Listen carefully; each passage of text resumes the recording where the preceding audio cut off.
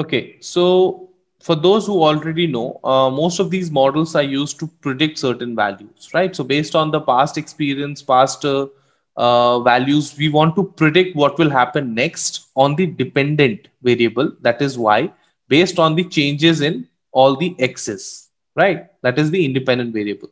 Now, what happens is that, let's say I predict some value of y uh, based on the value of x, right? Uh, and the actual y is a bit different from it. So the difference between these two, that is the actual prediction and my prediction, is called as the prediction error. Now, this prediction error can be either way. For example, let's take, uh, mm, I'm predicting the salary. Okay, my y is the salary and my x is your grades. Okay, so there is some kind of relation here. Let's take a very simple straight line. Uh, now, based on the increase in grades, your salary will increase. That's the assumption I'm taking. Or it may decrease in the same way. But there is a relation between your salary and your grades that you get. Okay. So let's assume this is the scenario. So for a particular value uh, of X, I predicted that your salary will be Y dash and your salary was capital Y. So the difference between these two, and this cap is usually representing that I have predicted this value. This is not the actual value. The difference between these two will be my error. Now, if I make, let's say, uh, this y1, this uh, y2, and this y3, okay, I made uh, three predictions. And each, in each of these predictions, you have some differences. So my error was E1, E2, E3. Okay, so let's take my error as these. So this is what I have done so far. Now, there is a concept of something called as a bias. Okay, the bias is basically sum of all the errors upon the total number of predictions I have made. Okay, so let's say uh, that my model has predicted the value of uh, 1.5 lakh. This has 1.2 uh, lakhs and this has 80k. Okay, and the actual value was uh, 1 lakh. Uh, for this one, it was 90k, and for this one, it was 70k. So the error which I got was minus 0.5 lakh. Uh, here it was 30K and here it was 10K. I can say this as 50K. So the overall errors that I got was minus 80K and my prediction was 3, right? So this comes close to 26.66 minus 26.66. Now, what does this minus 26.66 represent? This minus sign basically tells me that more or less, uh, when I predict something, I underestimate the value. That is, whatever my predicted y is, it is usually greater than the actual y, because of which my error actually goes into the negative direction. So if I usually have a salary of 1.5, it's very likely that the salary will be less than that. If this is my predicted value, that is what this negative sign represents. How much? So if I, let's say uh, one of the models have a bias of uh, 10 minus 10x and the other has the uh, bias of a minus 22.66. So what is the difference between these two? In this particular case, there's a very good chance that the salary will be much lesser. Okay. Let's say it will be close to one. Okay. If this is a scenario, then in this particular model will predict 1.5. The actual salary still be less because it's a negative, but it will more or less likely be 1.2 or 1.3 because the amount of mistake it does is much lesser. Okay, so this negative tells you the direction of the error. This value, the magnitude of the value tells you the amount of error. Okay, similarly, let's say if I have one which has a bias of plus 15. So if I told you that the salary is 1.5, the actual salary is going to be higher than this. Okay, uh, it could be, let's say 1.7. Similarly, if I have plus 20, in my particular prediction, if it is 1.5, then the actual value will be close to 1.9, right? So from this, you will understand what is the um, representation or what is the interpretation of the magnitude of the bias and the sign of the bias. Okay. Now, uh, similarly, we have a another measure, uh, and that is, uh, I think, pretty common one that you guys uh, might have seen before as well. Just a second. The root mean square okay the root mean square error now here what we do is that uh, when we calculate the errors like in this particular case i just added it up right it was minus 80k But in this particular case, what I do is I, I square this particular value. Then I add it up with the square of all the other values. Okay, rest the bottom is more or less the same. Now, the difference here is that if I have, let's say, an error of minus 50, and uh, then I predict something which gives me an error of plus 50. Okay, these are the two predictions. The sum total of my bias is zero. So my bias will give zero, which means it says that, okay, you are not biased. Whereas my error will give me this as 2500 plus 2500 upon 2, um, that will be 2500 under that's 50. Okay. So RMSE will give me 50 and root mean square, since it's the square root of the value, the actual magnitude will always be positive. So the sign here doesn't mean anything here, but the magnitude does. Okay. Uh, whereas if I do, let's say minus 30 and minus 30, it will give me the overall error of 30. Again, the bias is still zero. Now, what you get from this particular thing is that both these measures have something very important to tell you. Bias basically tells you on an average, what is the direction in which you go? Like whether more of your uh, predictions are less than the actual value or is it more than the actual value? If you are going negative, it basically means that this value is bigger than the actual value. So if you have a negative bias, it means that your predictions are higher than the actual value. Whereas if your prediction, uh, if your uh, bias is positive, it means that this value is bigger, which means that the predicted value is smaller usually than the one which you have here. Now, if on an average, the plus and minuses are equal, it will cancel each other.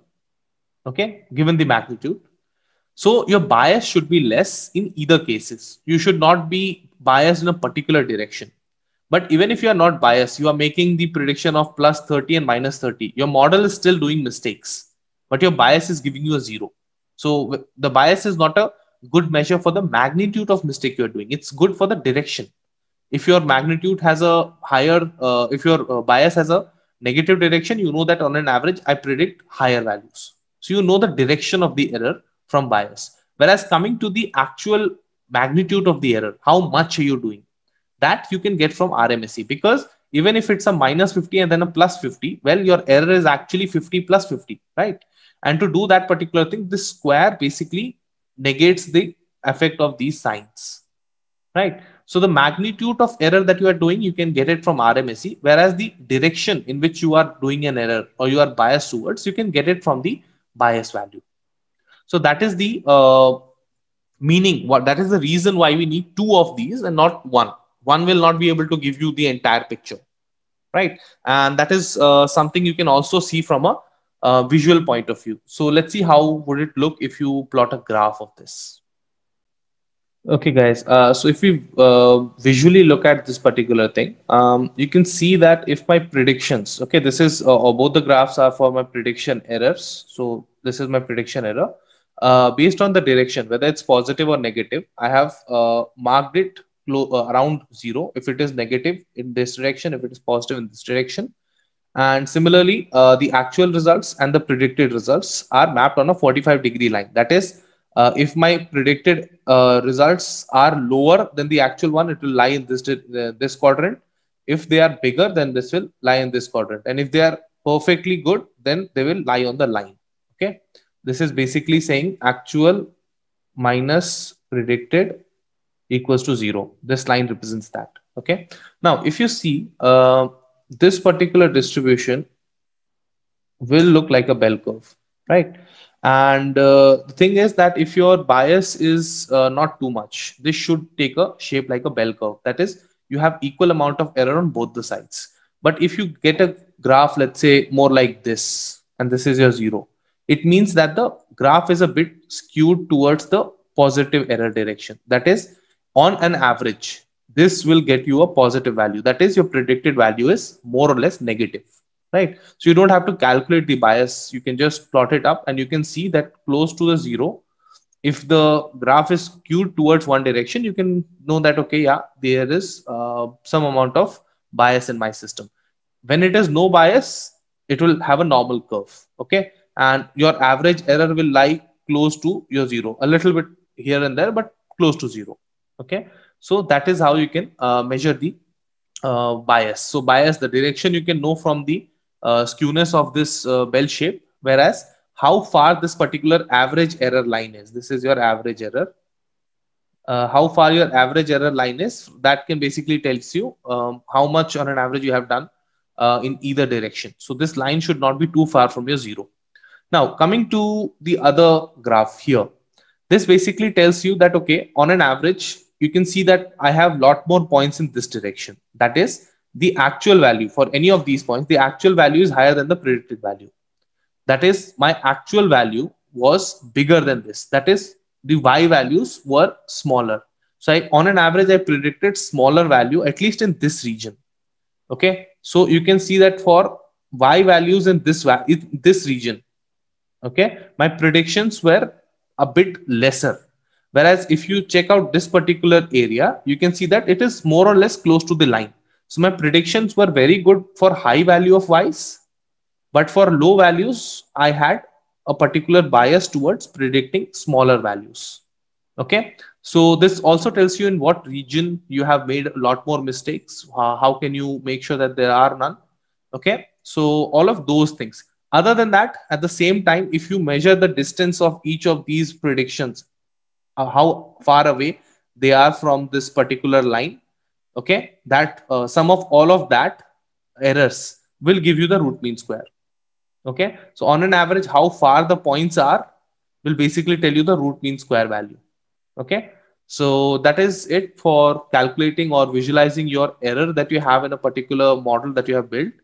Uh, in the next one, we should see uh, interpreting a regression model. Uh, now, other than that, there is a particular kind of um, uh, error table that we will see later on when we do what is called as classification.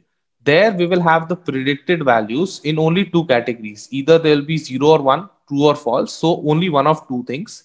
And our prediction will also be true or false. So in that case, true, true, good. If it is false, I have predicted false, then it's also good.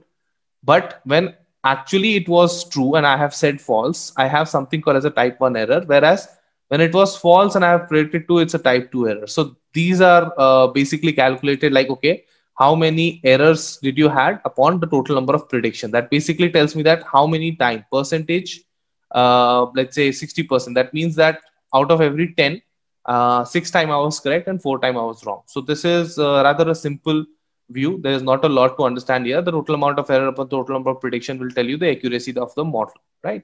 So that is the uh, measuring or uh, calculating of the prediction errors. Now we will look into the models, how they are built and what uh, all that we need to do for a particular model to see uh, through that it is suitable for our example.